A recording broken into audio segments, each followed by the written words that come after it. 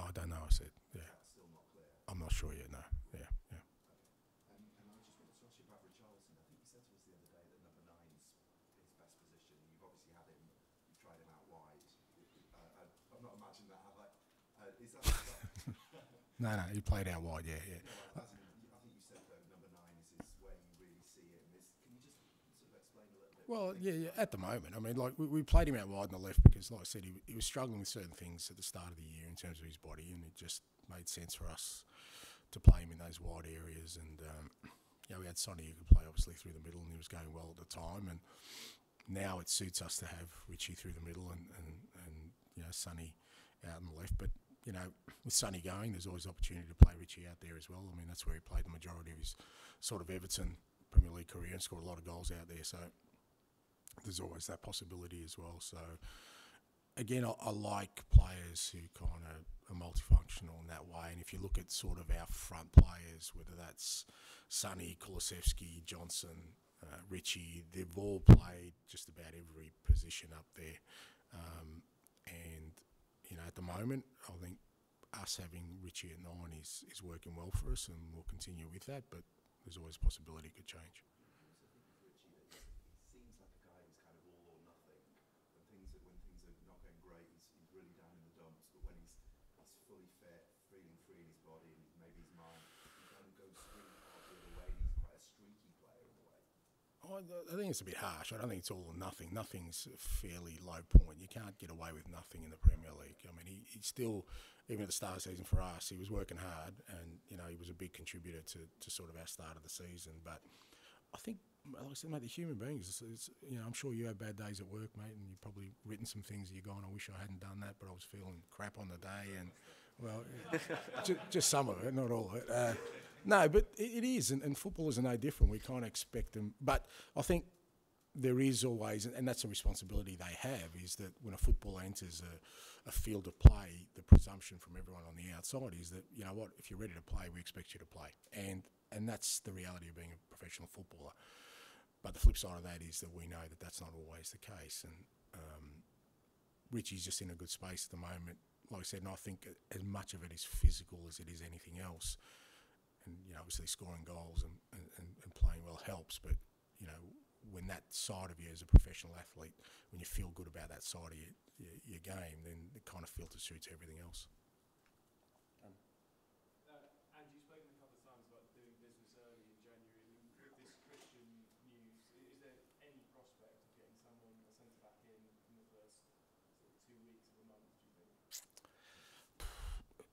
I don't know because um, th- there's just so many moving parts. Yeah, look, obviously, if we can do business early, it's great for us. Um, f not not just because of obviously losing Romero, but I just think, yeah, there's a whole month there. Why waste it? You know, if you can bring them in early, even if there's no, you know, even if they don't play, you can bet them into training. You can bet them into our style of football because it's not like we're going to sign somebody and they're going to, you know, hit the ground running. You, maybe they could, but you know, so whereas if you leave it to the end of sort of January, then potentially it's not till sort of mid to end, Feb- end of February where they get up to speed with things, and depending where they're coming from, sort of the league they're coming from. So there's a whole range of moving parts.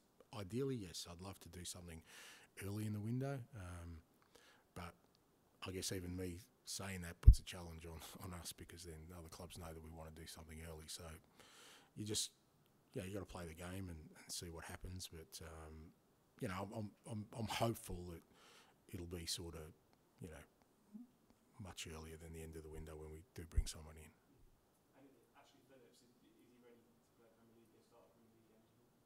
He's training now, so he's he's ready, he's available, and um, you know uh, he's there, mate. So if uh, opportunity comes, um, we'll give it to him. And, and just, just in terms of these kind of ongoing injuries and suspensions, I mean, you, you must just feel like you can't catch a break every time someone comes back. You seem to Yeah. And, and, look, it is what it is. And, and I think I said that before, you know, when somebody was saying, you know, all these players come back, and I was saying it never works that way, or rarely does it work that way. And, and look, I'm not the only one, and you, you can see there are other clubs going through it as well. Um, yeah, we've been going through it for quite a while, to be fair, but I really like the attitude that sort of everyone's taken with it in terms of internally um, coaches and players and we've still been disappointed with our losses. We've still been disappointed if we're not playing our football, and I think that's the most important thing because I'm sure there'll come a point where you know we will be much healthier in terms of our playing stocks, and um, you know, but I, I kind of like the fact that you know we're winning games of football and playing decent football without some of those players. So I think it, even for them, it's good to see the team winning without them. You know, because it kind of hopefully motivates them to come back, but also makes them realise that you know it's what, something they want to be a part of. So, like I said, it is what it is. We've just got to get on with it. It's another challenge for us. Uh, you know, this week with, with two games in a short space of time and you know, smallish sort of squad available, but we'll tackle it like we've tackled everything else. And just go back to Son quickly, for that Burnley game, are you fighting to have him for that? Is that the discussion where you're at, or are you happy for him to go as early as possible? Uh, it's, it's not a it's not a fight. It's just you know it's a discussion. Again, there's all parties. Ultimately, we're, we're at the sort of uh, behest of the federation, and you know we'll just take our cues from there. How do you view the tournament? I mean, from a lot of European fans may see it as a, an inconvenience in their season, of, you know, their, their team's players going, but from your experience. You know, I want it, don't you? Yes. Yeah, yeah. So I, I rank it pretty highly. Yeah, I think it's pretty important. Yeah, yeah, yeah. Because a lot I think it's probably- fans will just see it as Yeah, I know, but you know, a lot of European fans see the Euros as fairly important. Well, it's the same for the Asian Cup or the African nations. So, um, no, it is. You know, it's obviously, you know, people can talk about the timing, but you know, with the amount of, like I said during the week, the amount of football players are playing at you know all tournaments, the timing, even in the off season, you you know, you worry about your players because they don't get a break. So, it's uh, it's part of the calendar, but um, no, I hope Sonny goes on and uh, finishes runner up to Australia again, mate. I'd, yeah, I'd be really happy about that.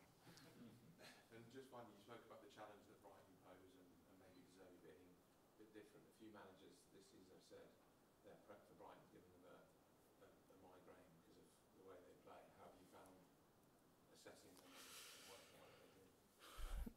No, I, don't, I think um, I, I, I don't see it that way. I, I think every team's in the Premier League's got its challenges. They're different challenges for sure, and um, that's that's a bit you enjoy. I, you know, I don't don't think there's an extra sort of layer of information you need. It's um, you know, you certainly know how they're going to play. Um, sometimes it's harder when teams are less predictable and, and not less predictable, but you know, change on a weekly basis. You think how they're going to tackle us, but you know, with Brighton, there's going to be a real challenge for us there.